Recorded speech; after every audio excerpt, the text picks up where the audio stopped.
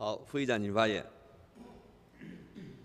呃，主席、县长、两位秘书长、呃，各位首长、呃各位同仁，大家午安，大家好。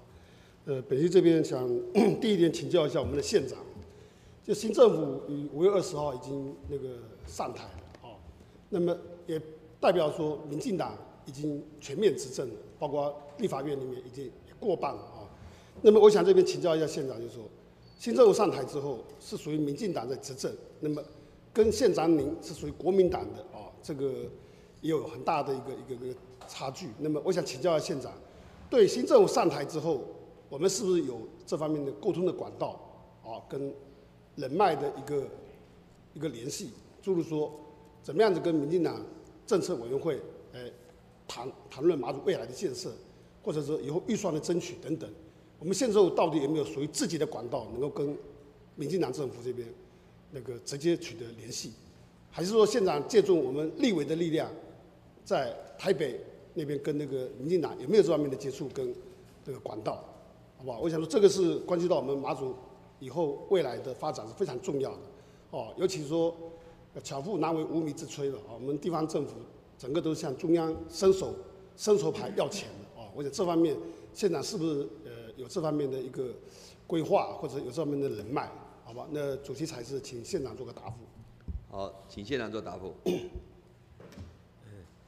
非常谢谢呃副议长啊关心就是新政府呃上台以后对地方的互动跟关系啊，我想啊呃虽然中央执政的是民进党政府啊，那我本身是国民党党员啊，基本上啊呃虽然说政党不相同啊，但是我想我们对于地方的建设啊，我想不会因为政党的轮替啊放慢脚步。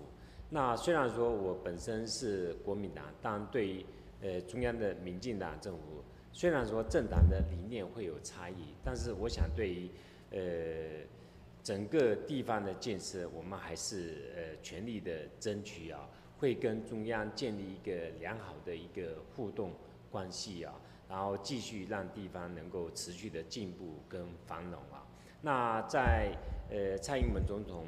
呃，就职的当天呢、我也亲自啊去参加，包含当天的晚宴呢、我也参加，我也当面跟呃蔡英文总统跟陈建仁副总统啊，就是面谈，也邀请他们能够有抽空莅临马祖，也希望他们能够继续呃支持马祖的建设，让马祖能够持续的进步。那基本上他们都表现很友善的态度啊。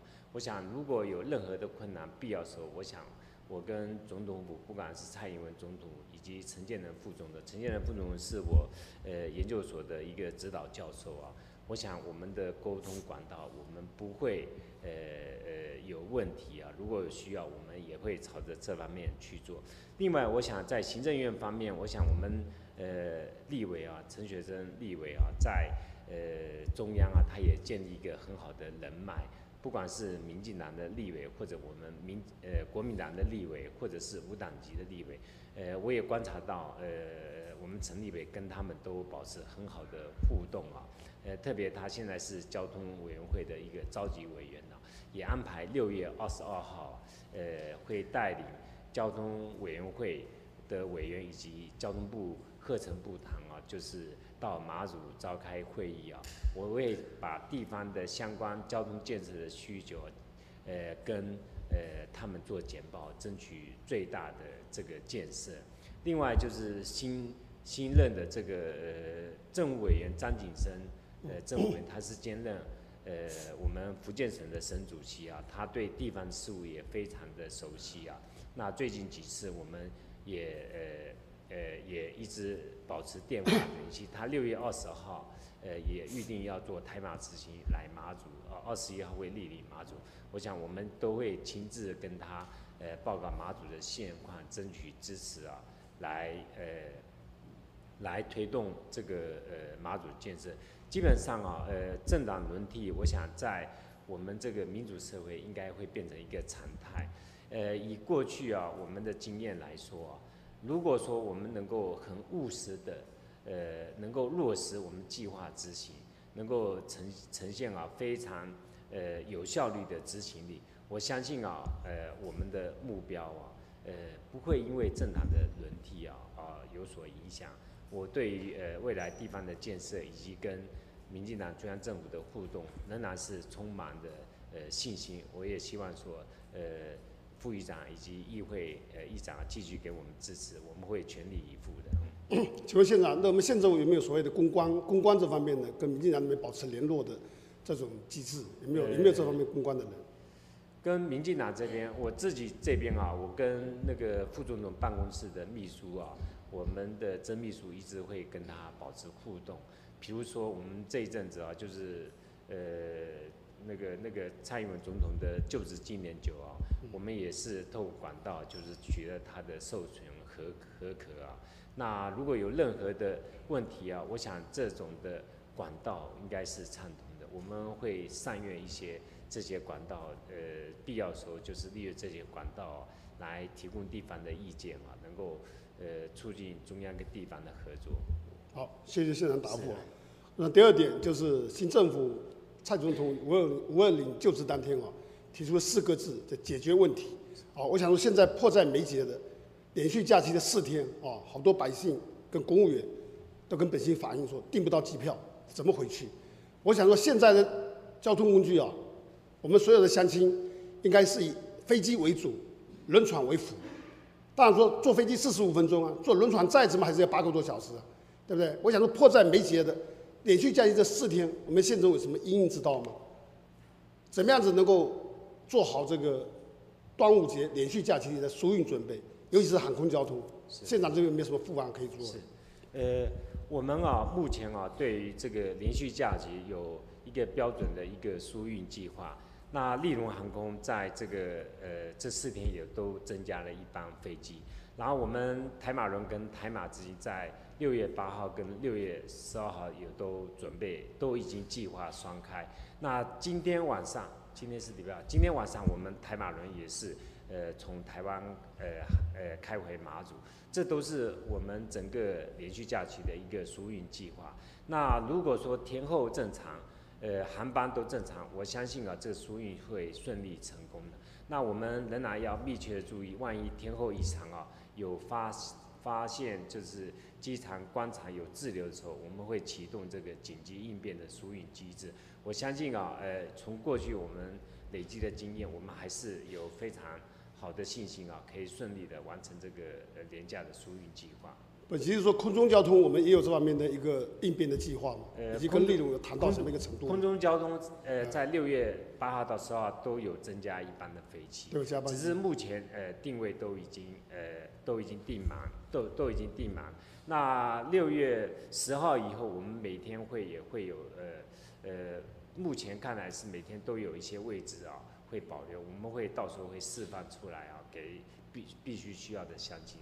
我们相信下谁要？之前之前协调就是六月八号到十号，就每天利润都有增加一班的飞机。那我们相亲像像哪一个单位，像哪一位单哪一个单位说，哎，我今天要去台湾，没有机票，哪一个人能够协助？我仍然是希望说，呃，在呃马祖持续进步发展的阶阶阶段啊，大家。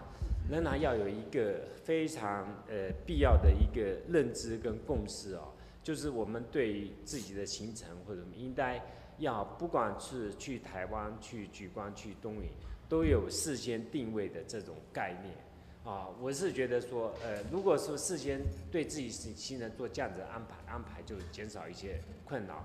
但是如果临时有一些突发的状况、紧急的状况、紧急的需求，我想我们政府也会。呃，透过这个应变机制给予必要的协助。县长，我告诉你，其实这些公务员都很清楚，都在两个月前就开始订票，就是订不到。是。哪个乡亲不晓得说，哎，这个连续假期四天啊？当然都知道啊。但问题两个月之前就订不到票，这才是个问题所在。是。所以说，本期跟县长建议说，是不是说比照我们以前那个制度，在机场这边设立一个服务的一个一个一个人员？是。哎，相亲啊或者没有需要，直接就是直接跟利用对口，哎，就可以让他们很方便的。是搭飞机出去，是是吧？你这样没有做的话，我请问你找谁？你说有位置，位置我我去哪里找找谁？找不到人了，是好不好？我想这方面的这个机制赶快把它建立起来，是好不好？你要不到机票，要不到船票，改天百姓就不给你选票，好，我想这个是一定要做到这个服务，好不好？是。另外刚刚就谈到说所谓的年年假这段时间啊，承载量的问题，所以一个是值，一个是量。我们现在到底的交通呃这个观光旅游的方向是重值的还是重量？好，本期六月四号那天遇到一个问题，是什么问题呢？就是说天候状况都非常好的状况之下，哎，来到马祖的这样没有地方可以住，这是事实，没有地方住哦。喂，我说什么原因哦？他说我们大陆那个连江那个骑脚踏车的大概二十人二十二十个人过来，然后他说，因为他从连江出发了，才想到，哎，我要找个地方住，结果没地方住，住到哪里？住到阿兵哥那个据点那边去，还好他那边有有有已经有冷气了，哦，又有这个床铺了，然后就直接就塞到那边去，都还没开始营业就直接塞往往里面塞。我个人看法是说，这种我们是不是说一定要达到这个所谓的承载量的一个？数量管制，假如说你连续假期，台湾那个船开来两艘，那就没有地方住，也不是也不是一个办法，对不对？再加上这些自由客，尤其是大陆过来自由客，我们也没办法掌握它，对不对？这方面我们有没有重质跟量？我们相关单位是不是做好这方面的一个一个管控？啊，我想说这个是在在都是对我们政府的一个一个挑战。哦，第三点，我想那个。县长这次以《远见》杂志里面得到五颗星的这个一个殊荣啊，我想说这是全体公务员啊这个努力的结果。但是谈到所谓的住宅政策啊，本席在这边给县长一个建议啊，那个花莲县长傅昆奇他已经连续七年得五星五颗星的这方面的一个赞美啊，那么他这里面五颗星。连续七年一定有它的道理在，其中有一个比较重要的一环就是所谓的住宅政策。好，住宅政策他怎么做呢？他是把这个责任全部交给他的一个副县长去负责这个国民住宅这个政策，而且主导的是他们花莲县政府，就是业主，他直接找那个营造商来跟政府之间来来做这方面的合约行为，然后呢卖的售屋的价钱按照他成本价来。来卖，所以他得到很多年轻朋友的一个支持。那么县长早上也谈到所谓的我们电池商这个国民住宅政策。那么你现在方案里面有朝向哪一方面来做吗？有没有这个方案？到底什么时候可以定案跟实施？是，呃，基本上啊，就是有关呃花莲的住宅政策，也是我们参考的这个方向之一。基本上我们。呃，仁爱一四七地段啊，就是呃，我们预计在下个月就会呃评选这个专案管理的公司，然后会呃到各村做说明会，然后开始受理登记。我相信我们的做法其实跟呃花莲的做法是一致的。呃，我相信啊，到呃未来两三个月，让民众实际接触以后，就会明朗实际的状况。这个部分也是我们非常重视，特别对年轻朋友，我们希望说年轻朋友啊，就是能够呃专心的能够呃创业，能够工作，没有后顾之忧，包含这些住宅这个，包含我们的公托政策等等，希望年轻人啊，就是没有后顾之忧啊，能够全心全意的投入工作，这是我们。会努力的方向。县长，未来的你的政策就是说，也是直接有公务局来跟这些营造商直接来跟他订合约，然后相对的来做监督，而且把这个最好的品质盖出来，然后让我们年轻朋友可以用两三百万最低的价钱买到房子，是是不是这个政策？是。